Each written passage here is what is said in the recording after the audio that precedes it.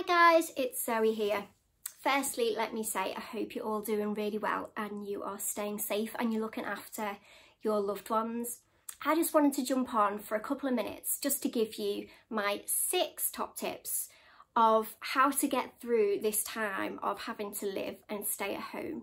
Okay, so the first one is um, keep in touch with your friends and family via video or um, video phone or messaging.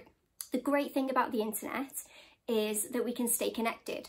So although we can't see each other or maybe spend time with our friends, we can certainly stay connected via the internet. So take advantage of that at this point, um, and make sure that you're staying connected with your friends and family. You're checking in to see how they are. Okay, number two, be careful what you choose to read.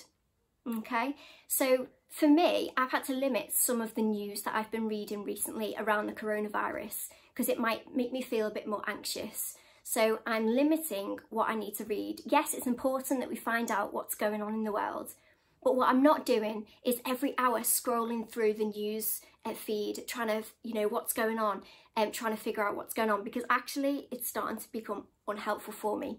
So I might check in a couple of points in the day to find out what's going on in the world but I'm limiting my time that I spend at reading um, the news at this point.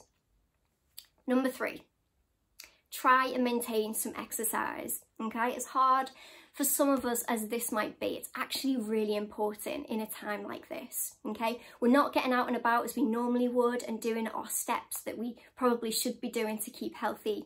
Um, so doing some exercise at home actually is really important. If you've got a garden, that's great. You can get out in the garden, get some fresh air, do some exercise. If you can go for a walk, then that's also really good.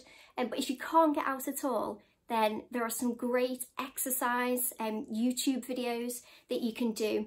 Um, and we really recommend the PE with Joe, which is a really good one to kind of get your heart rate up and making sure that you're staying fit and healthy during this time. Okay.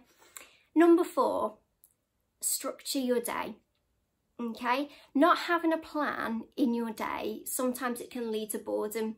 And if you're anything like me, this whole time has kind of disrupted um, my routine. And sometimes that's really annoying and we can find it quite difficult to adjust to that. But having a structure and having a plan is a really good idea.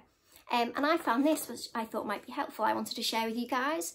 Okay, it's basically a simple plan for the day that I've printed off from the internet. I got it from makinglemonadeblog.com. Okay, and all it is is a plan for the day with the times down the side that you can write in next to it what you're going to do. So maybe the night before, sit down and have a think what is it that I'm going to do tomorrow instead of just sitting spending time scrolling on your phone. Okay, there's other things that maybe we can do. If you want some help, why don't you find someone at home to help you do that and to fill that in? And I've got some ideas for us in a minute about what we can put into some of these spaces. Okay, number five. This one is all about being kind and being patient to one another uh, with one another in this time.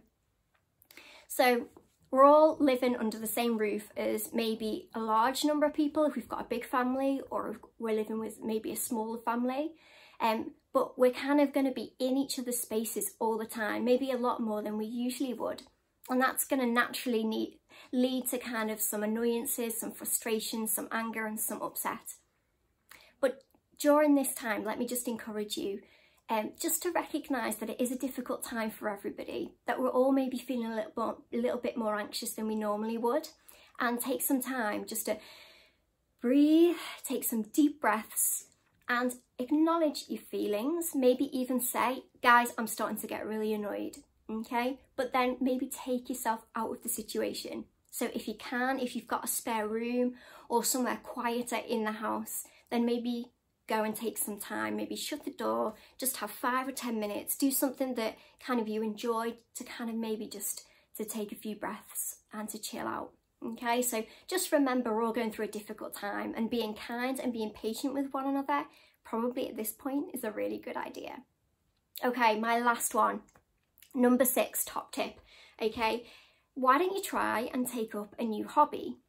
Okay, so it's new times for us all, so we might try and spend some of our time, some of our maybe more free time, doing some things that we've maybe never tried before.